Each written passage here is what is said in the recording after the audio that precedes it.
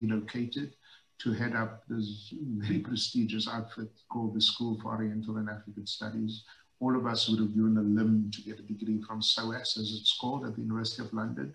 Uh, it is a massive, um, uh, uh, uh I think, privilege uh, for Adam to be there, and, and, and they're very lucky to have him as a, uh, as a leader in higher education.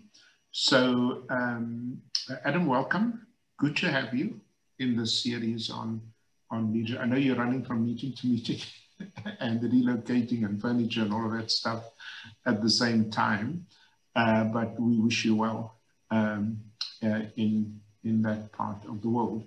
So Adam, I, I just for those uh, uh, uh, on the call on the Zoom that might not know you, I wonder if I could just ask you to, to talk a little bit about your early years of activism which which I, I suppose I'm happy to say was was not with Congress politics. It was not. It was very much uh, with the progressive left. Um, uh, uh, I know Cape Town was was part of that uh, that early exposure, uh, uh, etc. Tell us about your roots and and particularly your first instincts of leadership as a young man.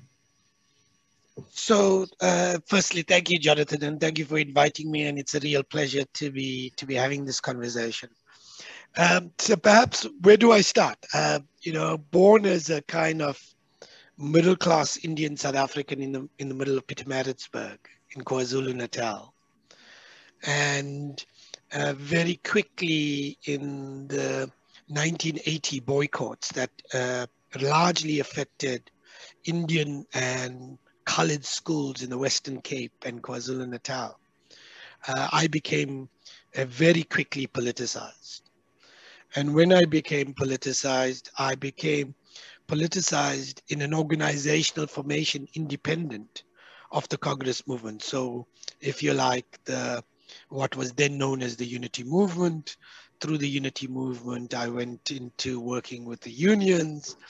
And from the unions, I went working with, if you like, one or other form of far left party, Neville Alexander's Workers for Organization for Socialist Action, etc. So in many ways, I was a kind of Trotskyist in a uh, in an in an earlier life, and that has influenced me in powerful ways. Uh, one by the fact that social justice is important and equality and inclusion is important. But second, uh, as comes with kind of large left-leaning politics. It was a fractious arrangement. And so, uh, in a sense, I'm uh, comfortable with fractious politics and fractious behavior. And so when that emerges in the post-apartheid South Africa, in the current moment, I'm not completely uh, flummoxed by it. I've learned in an earlier life how to navigate that world. And and and so that has influenced me in powerful ways. So that's the first part of my conversation. The second part is really about how i got involved in, uh, uh, involved in academic politics. And that was largely with where you spoke about jonathan. We both landed up at the university of durban westville in the early 1990s that together with the university of western cape was one of the first transforming institutions, dramatic transformations, dramatic shift in student profiles, largely poor students coming in, and particularly African students coming in into the system.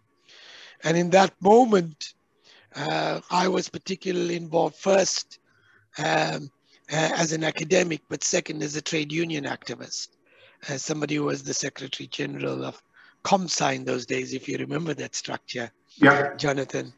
And I remember, and that experience brought to me both positive and negative. First, the energy that that comes with transforming institutions, the imagination that can come with a diversity in the university community. But what the COMSA experience also showed me is however good intention people might be, you can destroy institutions of learning by not being measured, by not thinking through what you're doing. by taking the university and its environment for granted.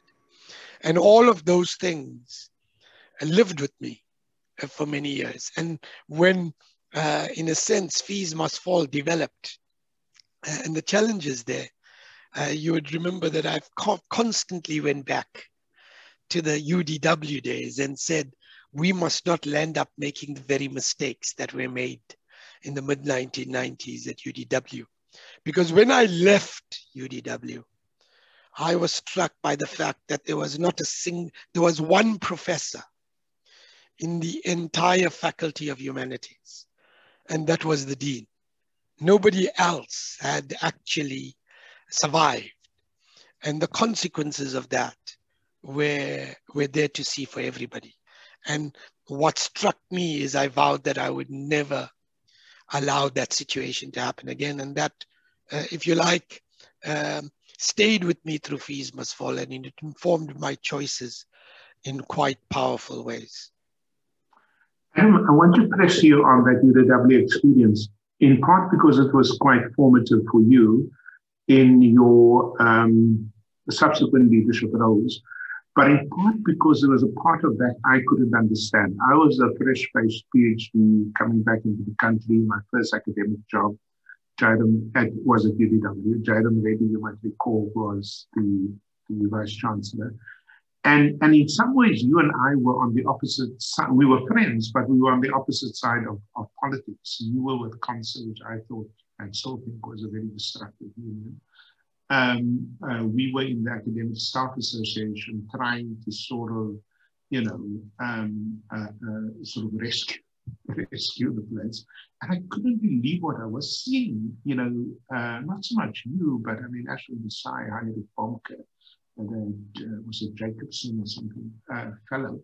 And they were literally tearing down the place, you know, and I yeah. couldn't, I couldn't understand that. I couldn't understand how that is progressive politics. I couldn't understand, you know, so so when you reflect about leadership, and you know, Jairam really wasn't a conservative vice chancellor. In fact, he was quite an open-minded liberal, I suppose a decent human being. That I can vouch for, and I'm sure you can. And yet, the place, in fact, Nelson, the first government intervention in a university in democracy was UDW. And you might recall that Nelson Mandela, as president, inaugurated the, the uh, Gouche Commission of Inquiry, in which Advocate Johan Gouche and, and Linda Zama, if I recall, Advocate Zama, were sort of had to do an investigation into the upheaval. What was your role in that? Yeah. So what was interesting is that I, I, thought that the UDW experience, I had begun it in 1990 as a young junior academic and got very involved in the transformation of UDW. And for two years, uh, two and a half years, I was completely immersed in the union uh, at UDW, which was COMSA, as you well know. And then at that point, I went for a PhD at the City University, the Graduate School of the City University of New York. And actually, I was out of UDW for three years.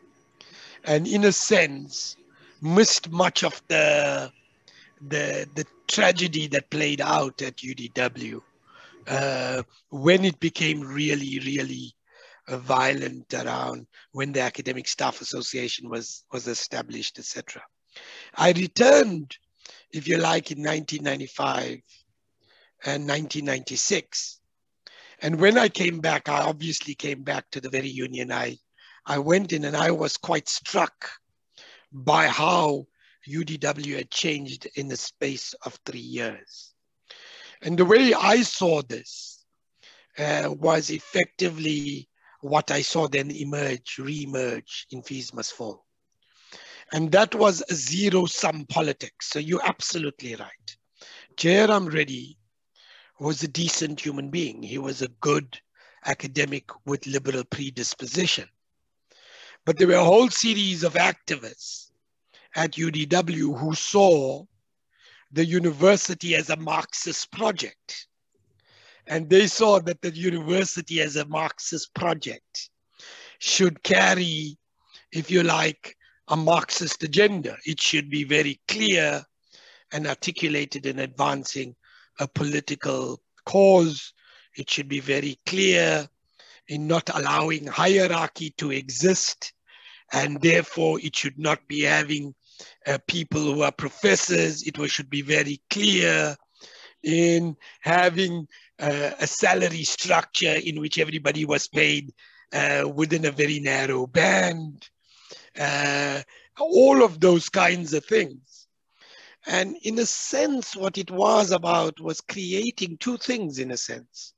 One was trying to create an, an, a socialist institution in a kind of capitalist society. It's like a complete divorce of the institution from the society in which you located.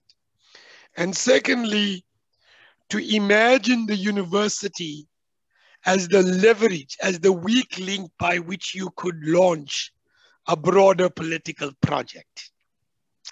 Now, both those issues, uh, and I remember having these debates with colleagues in COMSA, uh, saying this is undoable. I remember having a meeting with some of the activists in what was then the Senate chamber, and they were saying what we need is dual power. They had just taken Marcus Balintulo who was the vice chancellor, and removed him physically from the campus, and they had declared themselves vice chancellor and deputy vice chancellor and CFO. And I was remember having a debate with them saying, no state will allow this. You can't think of dual power. This is the word, this is a notion of insurrection that would not be, no state, let alone a democratic state can allow this to happen. And obviously, two, we, two days later, three days later, the police came in, removed everybody, closed the place down, etc. But those, those strands of thinking re-emerged in 2015. I remember having the same debates with colleagues, and they were saying, it doesn't matter. What we want is free education. And we recognize that you can't get free education unless you fundamentally change society. And the university must be the means by which you effectively launch a broader uh, fundamental shift in society. And if the university loses its calling and if it's sacrificed in, uh, in the process, so be it, because that, uh, the bigger cause is at play. And that was the first thing that reemerged uh, in 2015. The second that reemerged in 2015 was a zero sum game. It was either you are part of the cause or you're against the cause. There wasn't any understanding about competing priorities. There wasn't any understanding about trade offs that are required to make institutions run well. That if you take fees and you take salaries, you can't do both that they all align and you have to, they fit in a jigsaw puzzle. And if fees go down, or if salaries go up and fees go down, there's no way to close the circle.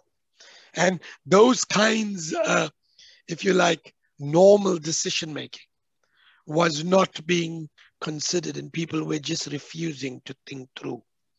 And, hmm. and again, it seems to me that that's the part, that's why I worry uh, in a lot of ways, UDW in 1995, I could imagine and saw what the consequences of it were.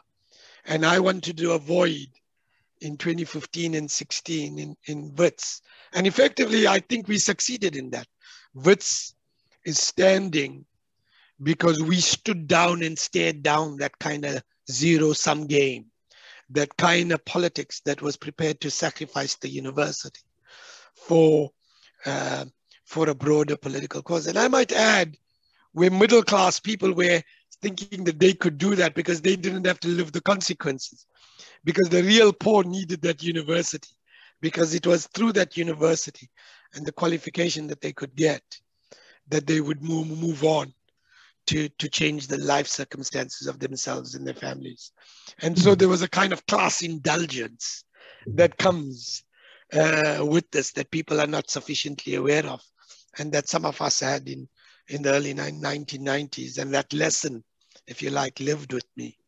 uh, mm. in 2015 and 16. Okay, so we're obviously going to do a deep dive there into leadership in that particular crisis.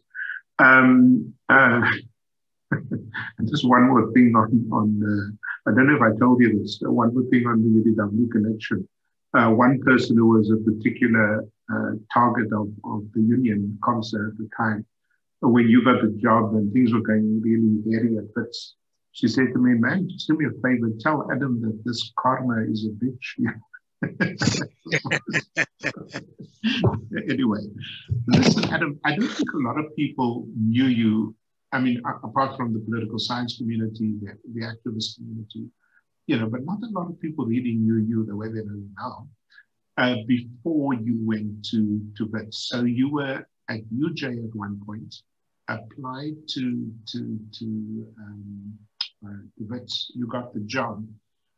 I mean, I would have told you at the time, you're crazy, because it is a university in which the political intensity, you know, and UCT doesn't really have. I mean, 2015 was the first time, as you know, in decades that UCT had a major upheaval. But Wits has this all the time. I mean, the students there, I don't know if it's the, the history of Soweto and, and the protest movement and all of that, but it gets quite hairy very quickly uh, at uh, a place like Wits. Why did you take the job? Yeah, I mean, I think it's a fair question. I'll, I'll, I'll speak about why I think Wits is like that. And by the way, in many ways, SOAS is like this in, in some ways. Um, uh, it, I think that I took the job because for me, I, I know it sounds corny, but you know, I, I, I've always had the belief that our public institutions, we need to make a difference. And that you can make a difference with public institutions in South Africa in a way that you can't do in many other parts of the world. It changes lives and it changes the lives of generations to follow. And you can do that with powerful public institutions in South Africa in a way that is second to none. And, and that, if you like, comes from a kind of social passion, a passion to change the world as an activist. For me, as a political activist, as a student in the 1980s, or as an academic activist in the 1990s, or when I became vice chancellor in 2013 at WITS, all of that was part of my my my activism. I saw my vice chancellorship as a part of activism, making an impact on lives, changing lives in some kind of way.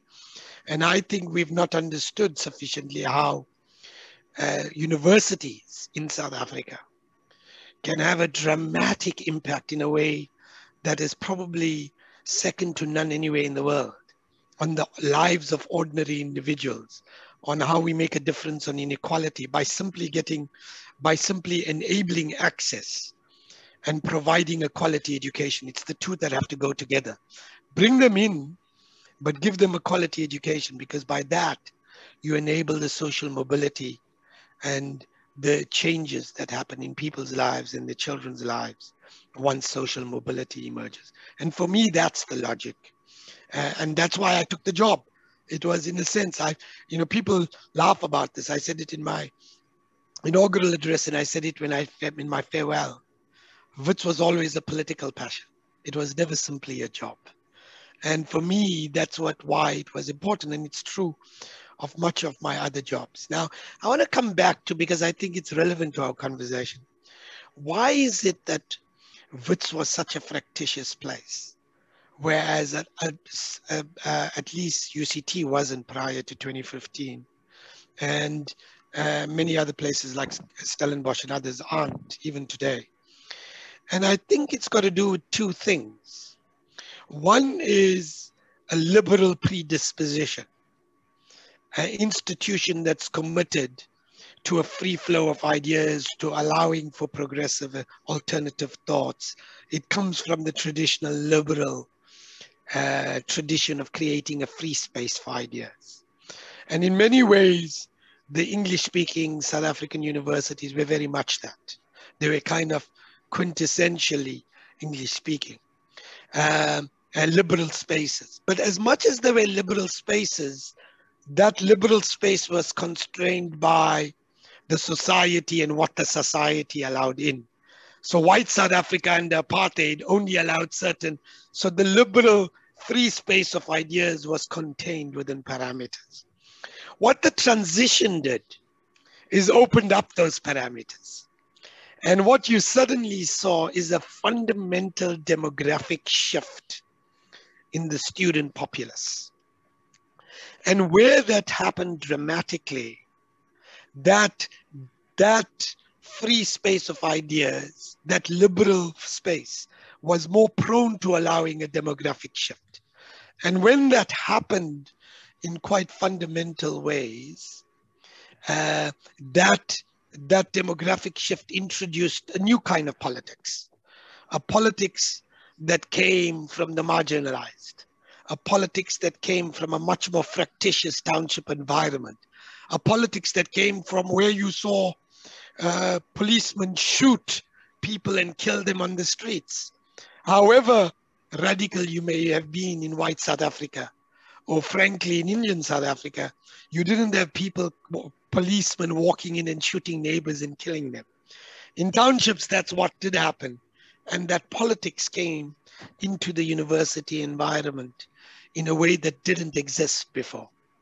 And it was that combination of the liberal space and the demographic shift that fundamentally made this a much more potent, politically potent, fractious environment.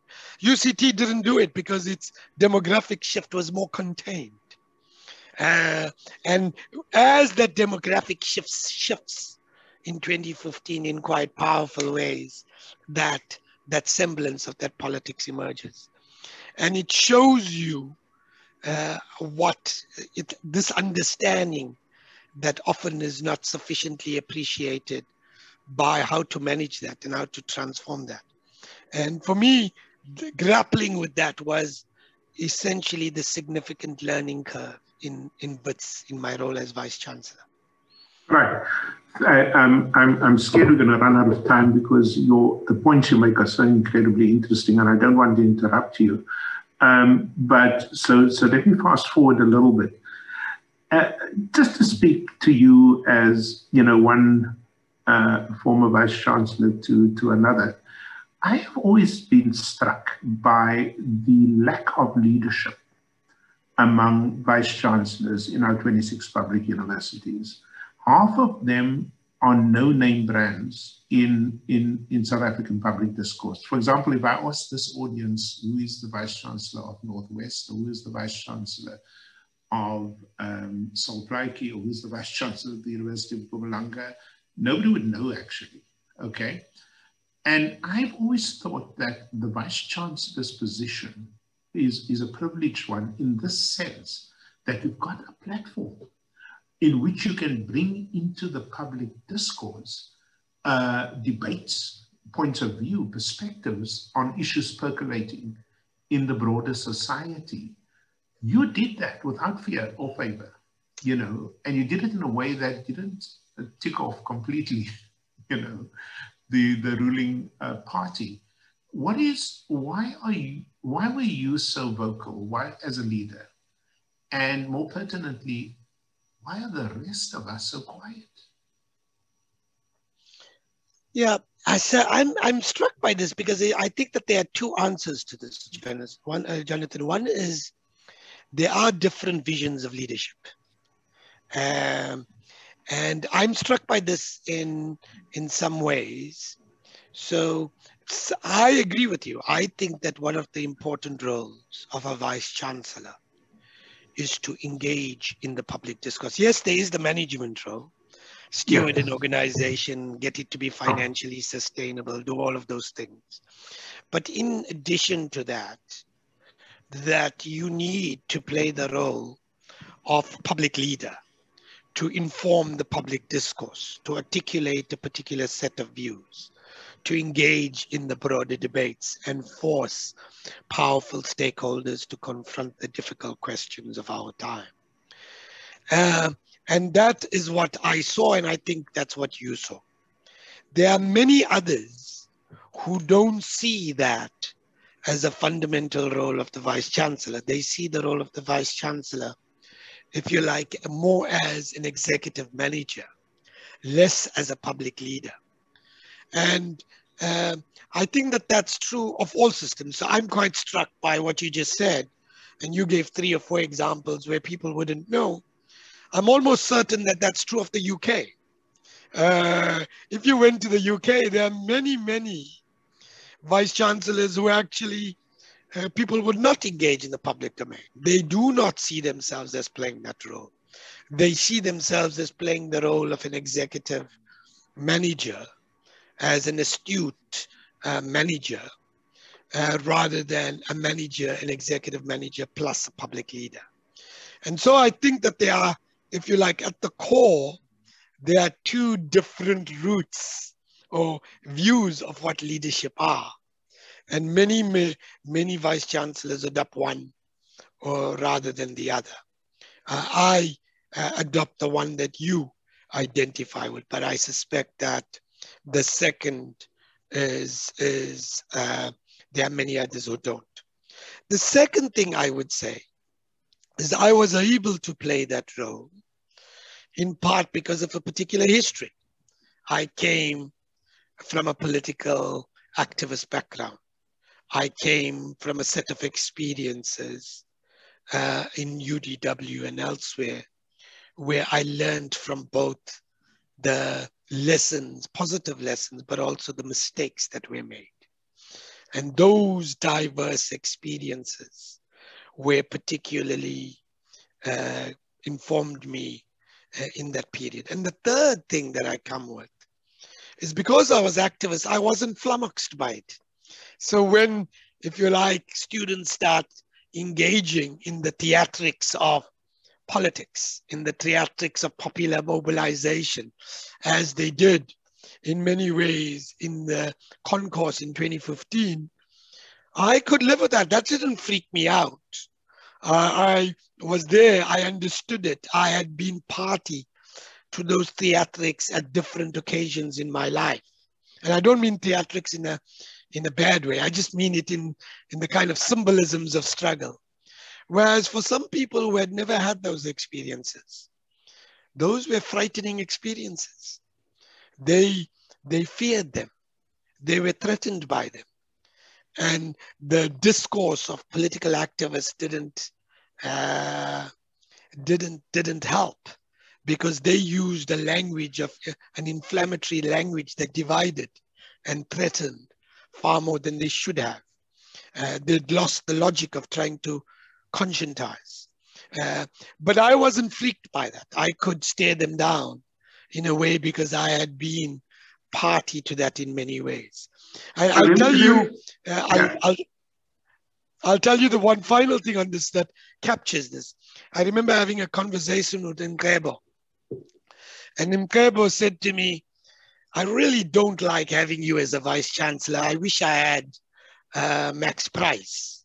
And I said, why do you want Max Price? And I, I, don't think he understood Max Price had a, had a political background because he read from race, he read an ideology. And I said, and he said to me, well, what irritates me is you've got some struggle history, so you know what we're doing even before we started. And, and in a sense, it's about having some experience of struggle in the kinds of ways that it was playing out and being able to navigate that world. And I think the people who succeeded in doing so had experience where if you were new to it, you were completely flummoxed by it.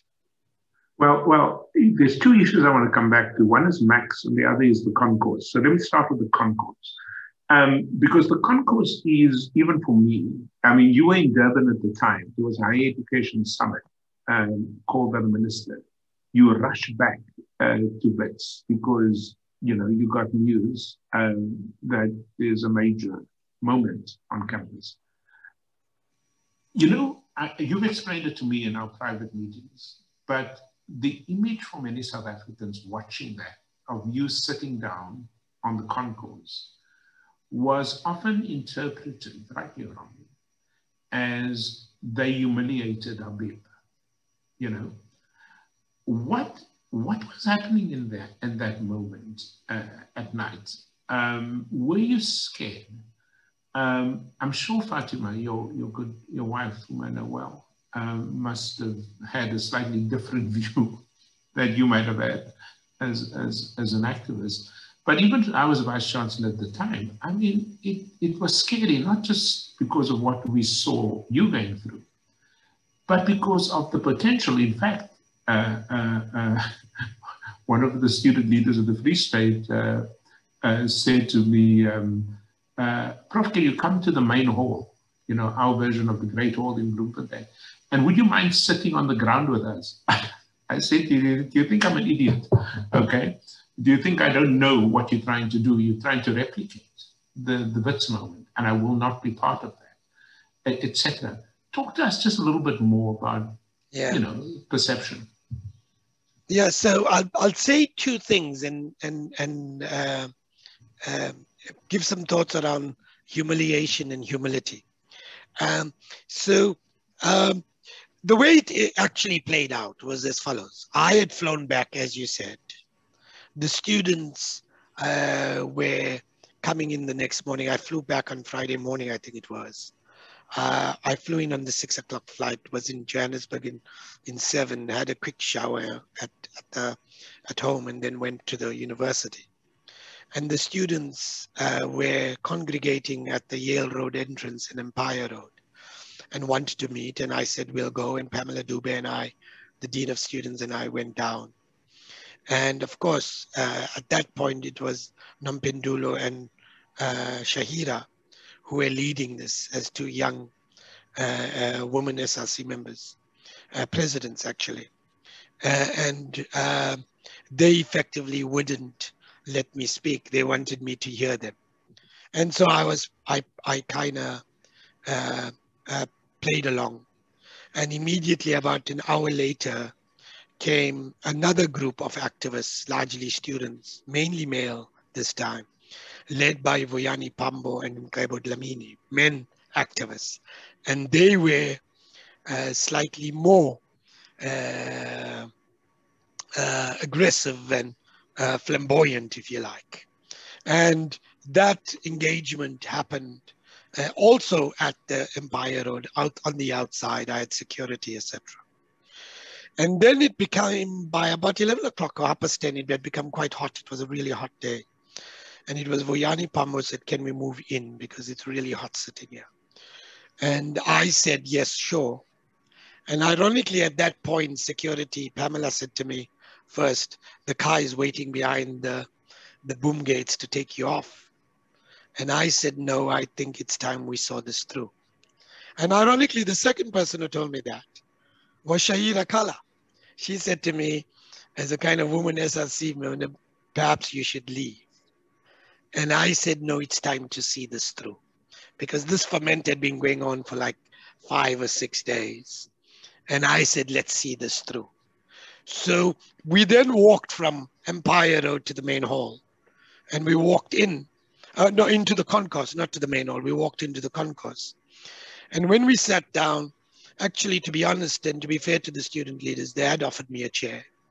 And I had said, no, let's sit down. I'll sit with you. And I'd ask uh, um, a colleague of mine uh, who brought uh, some nuts because I used to love nuts. I was paranoid about getting a middle-aged port, so I used to eat nuts rather than sweets and some coffee and we sat down and with the student leaders. Now, by the way, I've done this a hundred times before.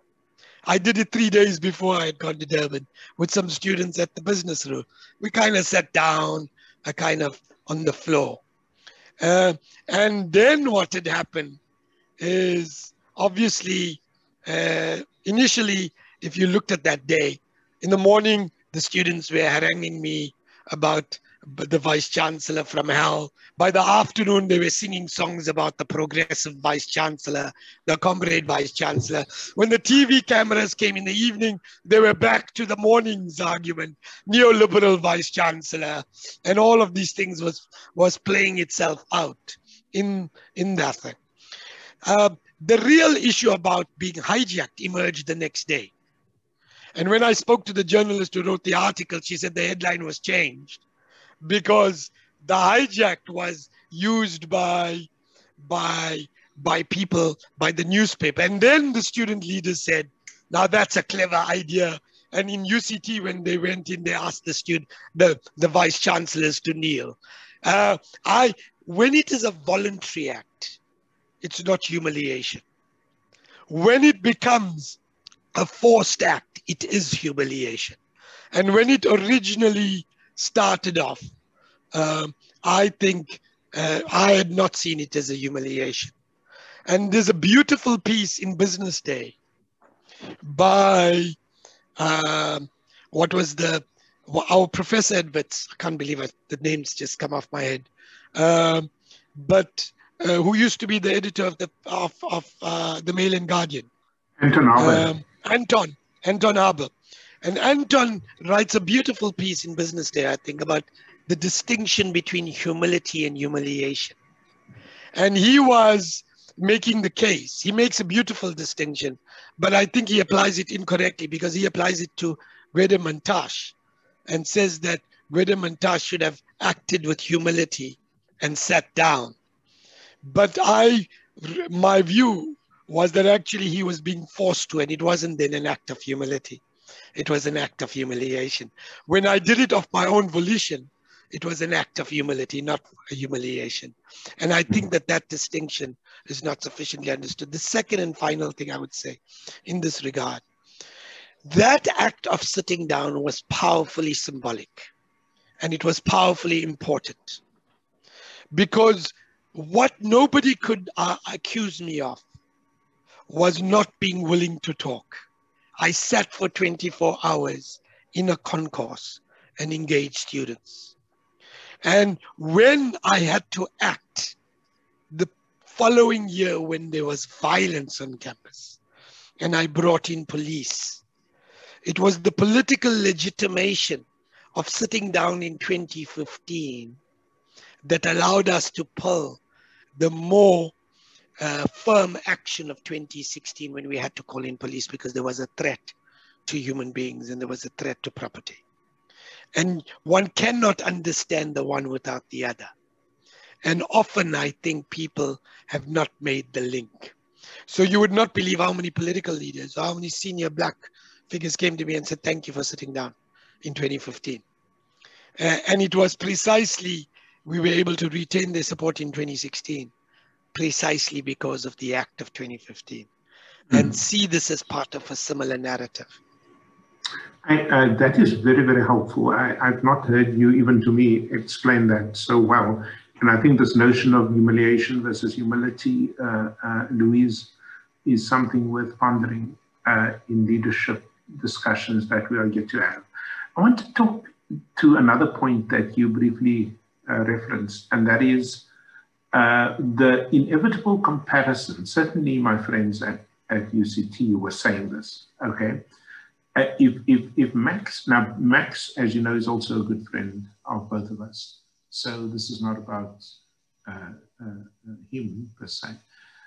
But if Max only did what Adam did, if Max only stared down the, the, the so-called radicals, um, you know, and stop them from destroying artworks and, and you know, and punching him, etc., uh, etc. Et um, and so there was in higher education, a lot of discussion, unfair on its terms, I would say, but nevertheless there about the, the, the, the bib model and the price model, okay? And, and, and what I'd like to ask you, um, to what extent was the UCT struggle in those two vital years different or similar to what happened at Wits? In other words, was Max's response a contextually based response, uh, which made it different from you, or was his strategy wrong? So, I mean, Max and I, Max is a great friend, and I, I, want to say that he and I have a difference of opinion. And for those who are interested in this, I've reflected this a little bit of this in the book on uh, Rebels and Rage uh, where I tell the story about where I think in three or two or three pages, the difference between Max's prices strategy and mine. And actually Max responds to this in the Daily Maverick. Uh, and if, if you're interested, you can, the people can pick this up about Max's response. Max's argument is that it was contextual, that his ability to move uh, and the reason there was a difference between what he did and what I did. And part of the reason of what he did was contextually grounded. The very nature and architecture of UCT, the fact that it was located on a mountain, the fact that it was an open campus and not a closed campus like Wits, the fact that uh, all of these things. I, on the other hand, I've argued that I think that there's some something to say for the contextual differences, but I don't think that that explains all of it. And I think that there are two big differences that allowed us to pull forward a much more firmer agenda and an agenda that established firm parameters. One was at the level of strategy and tactics, and the second is at the level of what I call a cohesive team. Strategy and tactics, we were, were very willing to take a much firmer hand against individuals who violated the free space, who threatened the students, or who threatened the campus.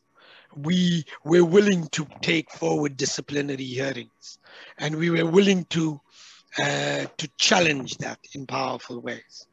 And I think part of that was simply tactical. I understood that actually, if we didn't, we would lose Wits. I think Wits could have been lost in those years in a way that that wouldn't have necessarily happened at UCT. But I think it was particularly important to do so. But the second is the fact that I think Wits retained a much more cohesive team. It wasn't a fractured team. It wasn't a divided team. And it was a team that sang from this same hymn sheet. So I'll be clear with you. When I walked in, we would meet very regularly, every morning. And I had a very strong, with uh, my senior executive team, which was the five deans and the DVCs and myself and, and the CFO and the COO, we were very clear. We will differ vociferously with each other in the room. You can differ with me, you can disagree with me. But once we have cast a pathway one, once we have decided on a course of action, everybody sings from the same hymn sheet. This is a cohesive management response. And frankly, that was agreed to by the team. So I didn't have deans and or DVCs taking a completely different course of action to the vice chancellor. There was a course of action, and frankly, I had the, I had a similar approach from my council. Very clear. You hold me accountable. Here's my strategy. Here's what I'm doing. Now step back and you have to back me. And Randall Carolissen did that and Isaac Shongwe did that. Uh, and that, I think, made the big difference. What I understood playing out is that different DVCs or different managers did different things at UCT. And what that allowed is political activists to play them against each other and create huge confusion in the institution.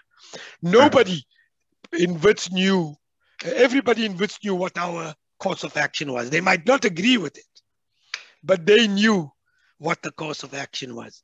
In, mm. in UCT, there was confusion.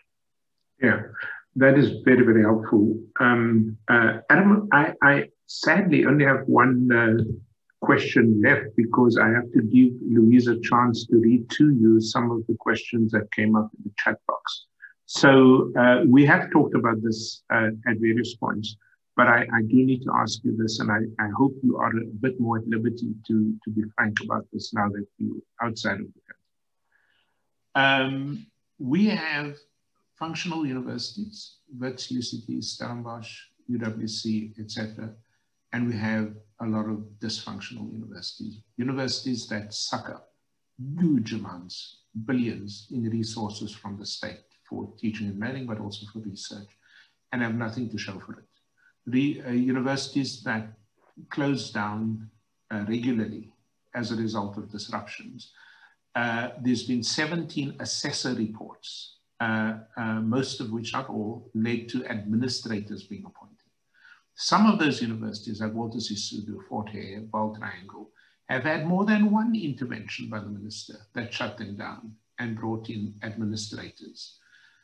Surely this can't go on.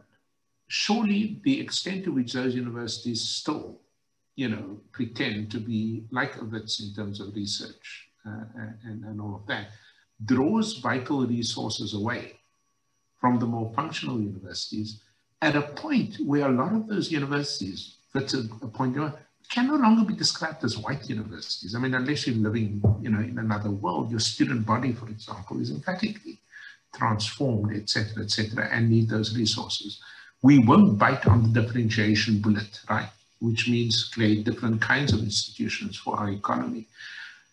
Um, is there a way out of this?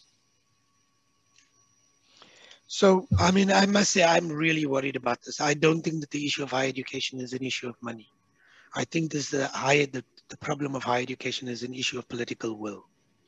That actually, what we need to do as an institution, as a sector, is to differentiate our institutions, have research institutions, have teaching institutions, uh, if you like, have vocational colleges and we need to create a pathway, a systemic uh, part of different types of institutions with different mandates.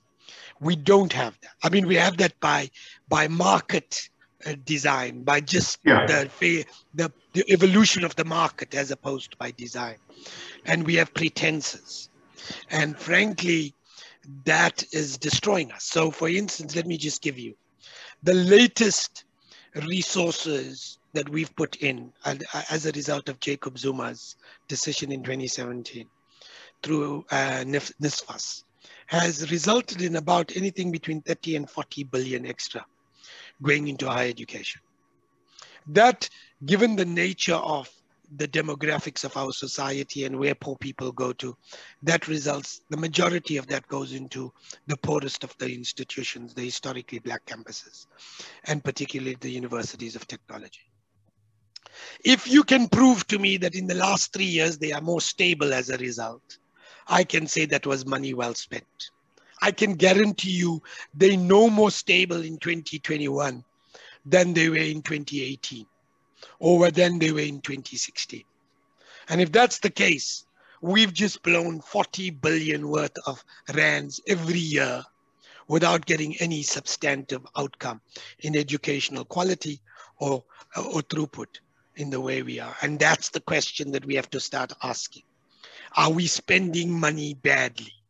And my argument is yes, we are. And we don't have the courage to say this, and we don't have the political will to differentiate, to establish appropriate mandates, and to have the courage to make the right appointments. The reason historically black councils, by the way, are weaker than the councils of historically black universities is because government has had carte blanche in making cadre deployment onto them. That's partly the problem.